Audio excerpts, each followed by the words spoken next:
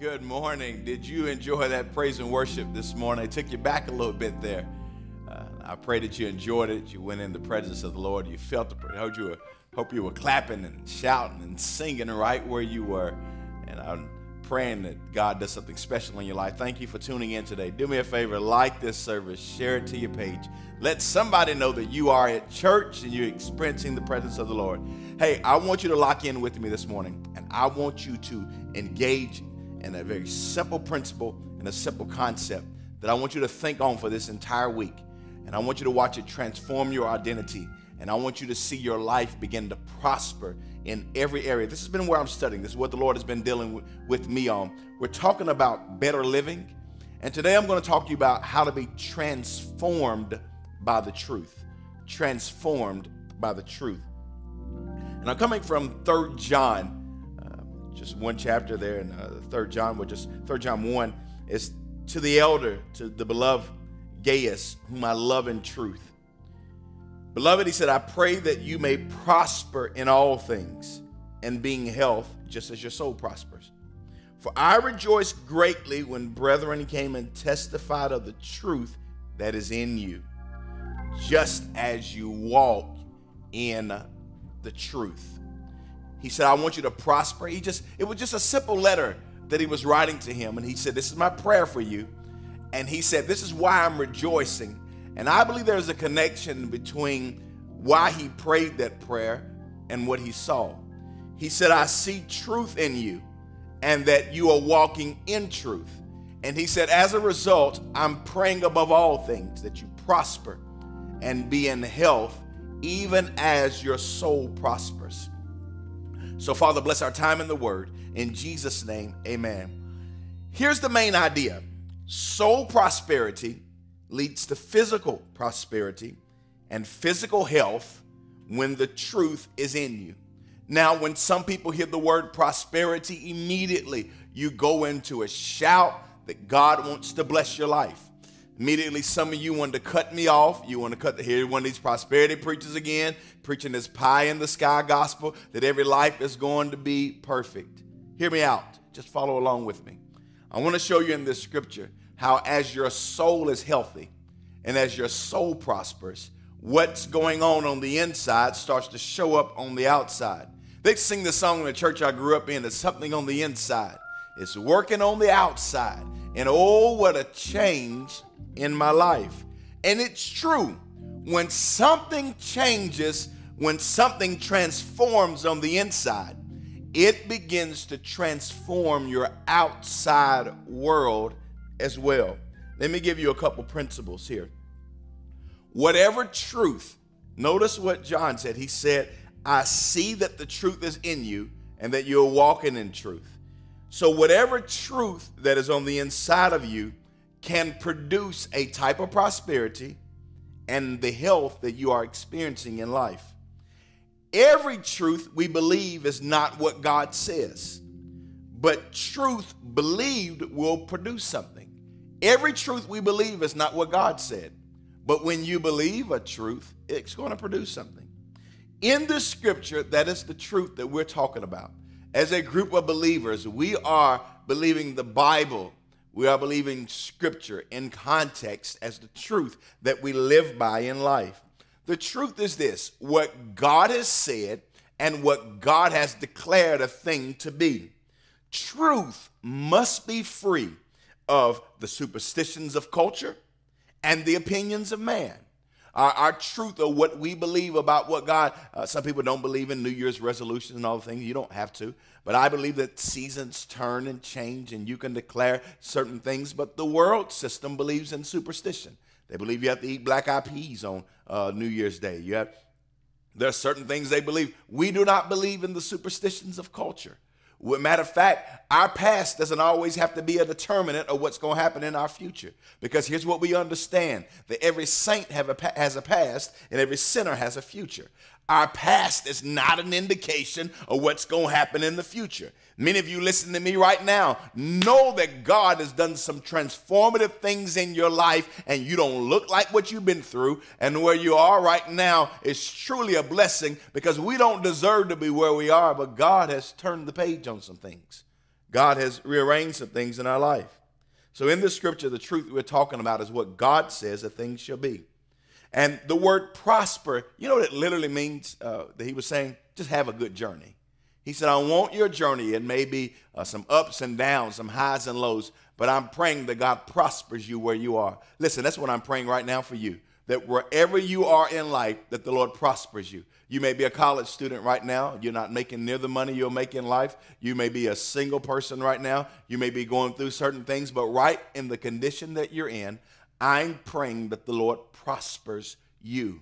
You may be in your 30s and raising children. You may be in your 20s and raising children. You may be in the great season of your life in retirement. Whatever season of life that you're in, I'm praying the Lord makes your journey good and that you're in health in the name of Jesus. You will prosper and being health when you find and believe the truth. The truth transforms your soul, and as your soul begins to prosper, all things around you begin to prosper, and you are in health in the name of Jesus. I'm praying that if you need healing in your body, as your soul begins to be healed, as you begin to believe that God is a healer, that something works on the inside of you and begins to transform the outside of you. I'm believing that as you see yourself different, you see yourself the way God sees you, that it transforms your being. Here's the thing about truth that comes from God you can't change the truth, the truth transforms you. Whatever God says you are, that's what you are. And we, when we learn to accept the truth about who we are, I'm not my past, I'm not my mistakes, I am not my struggle, I am not even my wins or my losses. Those are a result of things perhaps that's going on, the inside of me. But when I learn to accept who God says I am, failure is not final. This is not the last chapter of my life. I can always pick up a pen and write a different story because I know the truth. Matter of fact, some of you listening to me right now know that the call of God is on your life to do certain things, and life has happened. God does not change his mind about what he wants you to be, and you will never change God's mind. If God said you're blessed, you're blessed. When God says, I love you, he means I love you you can't change the truth. But here's the thing about the truth the truth impacts the way we live. You win, and matter of fact, we even live from the inside out.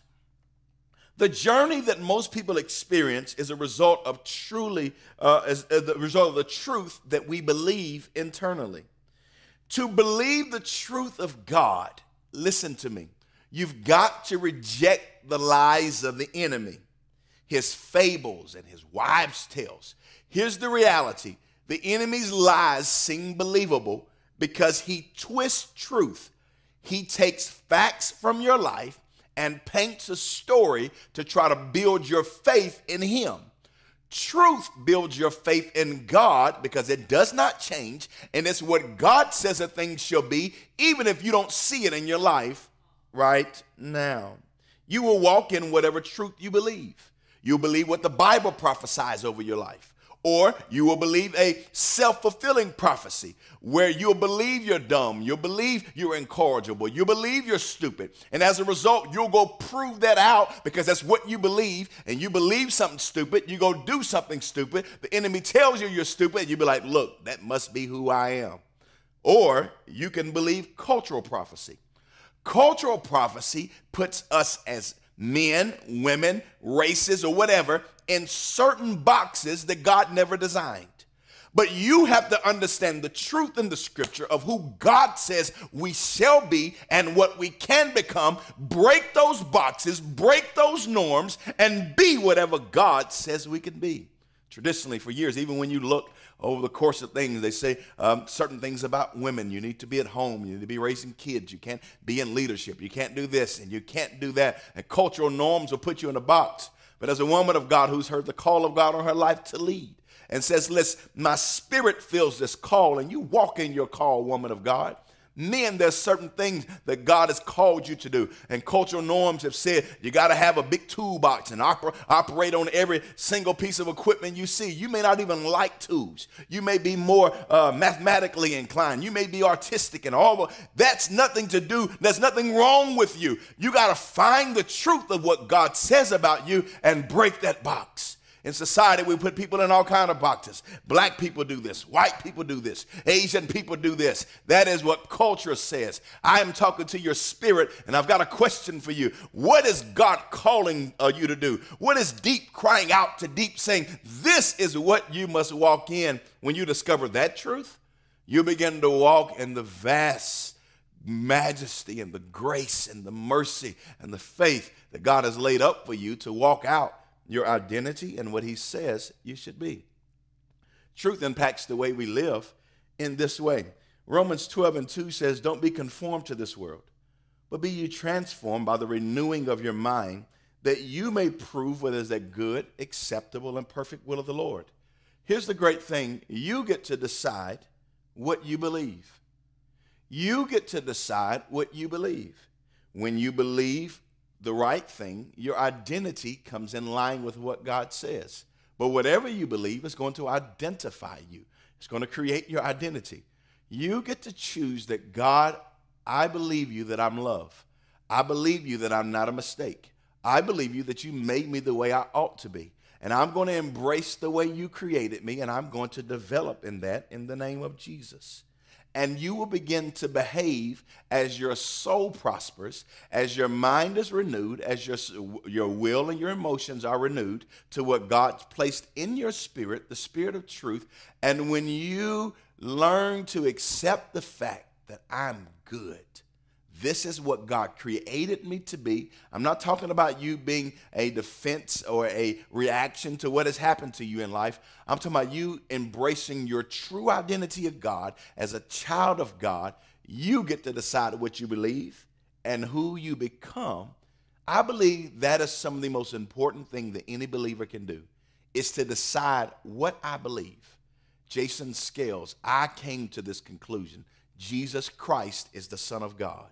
God is the maker of heaven and earth.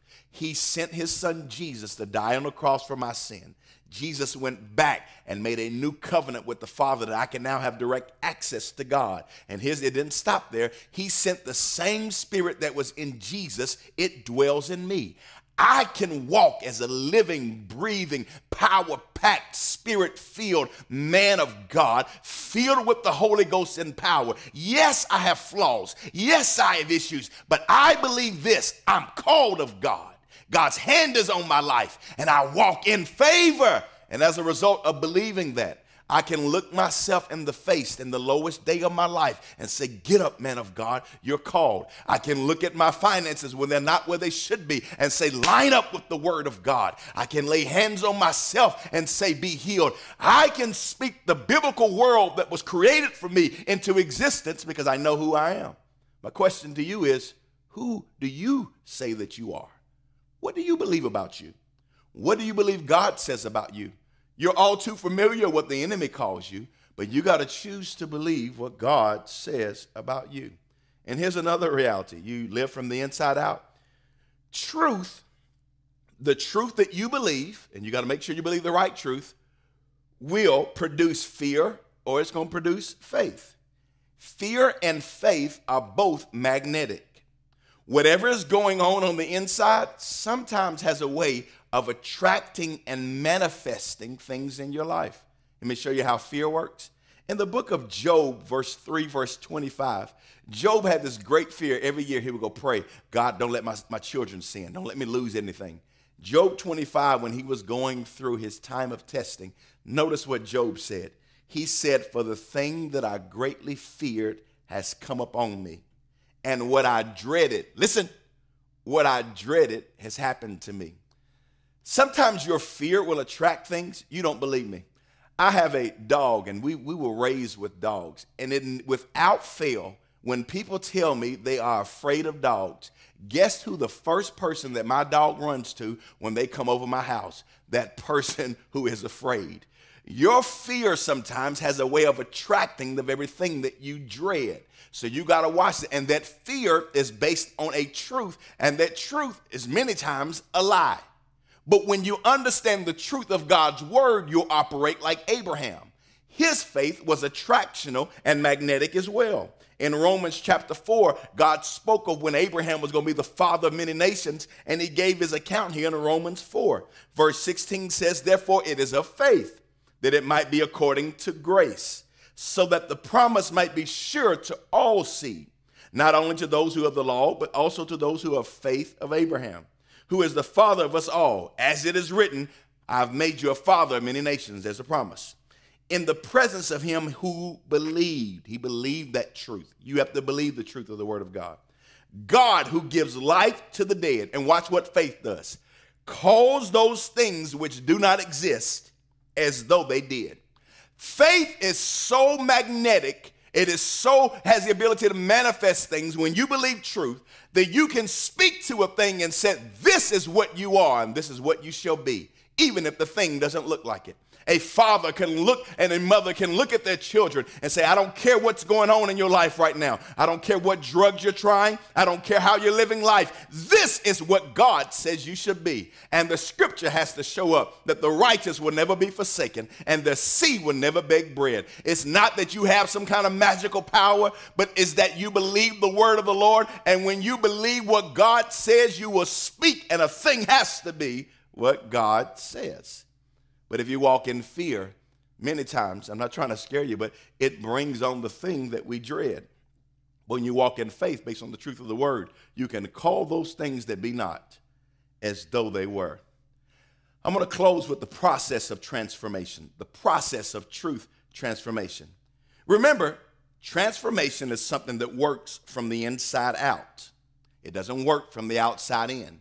Many of us, when we get ready to change, we work on the outside first. We go buy a new wardrobe. We try to change jobs. We go to the gym. Nothing wrong with any of those. But you cannot, listen, if you change the outside and the inside is not changed, nothing you do will last. Change starts first on the inside. That's why Jesus uh, uh, said in John chapter 8, verse 31, he was telling a group of Jews who believed in him. He said, If you abide in my word, my truth, that word abide doesn't mean necessarily read it 24 7, but it means to rest in, to trust in, to live in the truth, which is what my word says. You are my disciples indeed. He said, and watch this, as a result of abiding, living, and trusting in the truth, the word, he said, You'll know the truth when you see it, and the truth shall make you free. Notice what the scripture says Who's making who free? You're not setting the truth free. The truth makes you free. It seems like a simple statement, but how many of us are trying to defend truth? You're trying to speak up for truth. You're trying to make truth work. It doesn't work that way. The truth is what holds you up. I don't care who does not believe what the word of the Lord says. You don't have to fight. Just live this word out, and the truth will speak for itself. As a matter of fact, many of us are in self righteousness and works and we're trying to change our behavior. And God said, I want to change what you believe, and that would change everything. The truth changes you. The truth works, hear me, in every dispensation, it works in every time period. The truth is what makes us relevant. The truth doesn't change, but it has a way of transforming us to produce truth in every age that humanity exists in. This is the year of 2022. And the truth is just as real as it was in the 1800s, 1500s. We just present it in a different way. And I want to show you how God transforms us so that we can prosper and be in health. I went to Opry Mills Mall the other day. I had made a, a visit to someone who was in a rehab facility, and it took me by Opry Mills Mall. And I said, You know what? I hadn't been there in a while. So I stopped through. I am a creature of habit, so I park in the same spot every time I normally go somewhere. So I went to my same spot, but I noticed something looked different. There used to be an elect, I think it was Electronic Express on the uh, entrance that I went in. And I noticed that the Electronic Express was not there. They were tearing it down. They were doing some, recon, uh, some uh, uh, reconstruction, all those different things there. And I got ready, and I, I looked and I stopped for a minute and said, huh, I wonder what they're doing. I got ready to go ask one of the construction workers, but before I could ask, I saw a sign on the fence that said Cheesecake Factory coming soon. And from that, the Lord began to speak to me. He said, Jason, the sign was there the entire time. You were just distracted by the process of what the sign was going to produce. He said, In many of our lives, I have put my word there. I've told you what I'm going to do, but you've missed it because you looked at the process of transformation. He said, Don't be distracted by the process of transformation. I always give you a sign before I do anything. And that sign is the word that I'm going to prosper you, I'm going to grow you in the name of Jesus. And from that, the Lord began to speak to me. He said, That's how truth changes us. God always starts the process of transformation with a promise. He doesn't tear anything down, He doesn't build anything up without purpose. Before God gets ready to rearrange anything in your life, He said, This is what I'm going to do. This is how I'm going to do it. And watch this God always starts in the beginning with the end picture in mind. He shows you the beautiful picture of where I'm taking you, what I'm going to do. And we just say, Yes, Lord, do it in my life. Grow me, increase me, expand me. But we don't realize what He has to do to get us to that point. And He keeps a sign up to remind you. Now, this just Cheesecake Factory on a sign right now. Uh, there is no turtle cheesecake in there yet. There are no Buffalo Blast in there yet. There are no strawberry lemonade with the sugar just coated around the top yet. It's still in construction. But God starts every process with a sign, a word. And, and then he gives you a promise of the word. And hear me again the promise has a process. But every process is not random. What God is doing in your life is not a bunch of banging and clacking and people just in there doing random stuff. Every process of God has a plan and every plan brings process, progress. Now, you got to get ready for progress because progress normally produces inconvenience. For a minute, we got to go around the progress. For a minute, we got to be rerouted into a different part of the mall. For a minute, it's noisy. For a minute, it's ugly, but it's going to be worth it. My question to you is can you endure the process of truth transforming you? Because if you can endure the inconvenience, you will experience better living. When the process is complete, the progress will bring with you bring with it a greater level of living that you have ever experienced. And guess what's going to happen? I thought about this. That sign that has a picture of a restaurant that says cheesecake coming soon, which is the promise. Once the process is complete and the progress is done, and we can walk in there and sit, it's going to have another sign Another sign is going to be the actual marquee, and it's going to say, Open now, ready for business. For every season of your life, God is going to give you a promise and a sign. The signs will always be there of this is what I'm doing in your life. He said, In this season, I was constructing. In this season, I was remodeling. Now, here's the sign. In this sign, this time, it's the season to produce, it's the season to serve. Whenever God is transitioning you, He will never leave you out of the loop. He will always tell you exactly what you're supposed to be doing by giving you a truth in your spirit that I'm in the right place, I'm in the will of the Lord. I said all this to say because many of us are questioning what's going on in my life. If I'm believing God for better, why does it seem like things are being rearranged and not in place? You're just in process of God reconstructing you. Many of you are even using a word that I see in culture now. It's called deconstruction where you're questioning what you believe. It's not a bad thing. You're questioning everything around you. Sometimes God allows you to deconstruct your faith to figure out at the core of it that Jesus is Lord, that God is in control, you are not, and our goal is to believe what He said because He's been doing this a long time. Or you may be in the season of production. I want to know what, it, regardless of what season you're in, you can be transformed by the truth to live a better life. And here's why I want to close here. I want to close like John prayed for this man in this scripture. He said, Because I see the truth in you and because you're walking in truth. Beloved, I wish above all things that you may prosper and be in health, even as your soul prosper. To every person listening to me today, I'm praying that you would prosper and be in health, even as your soul prospers. I'm praying that every part of your life line up with the word of God.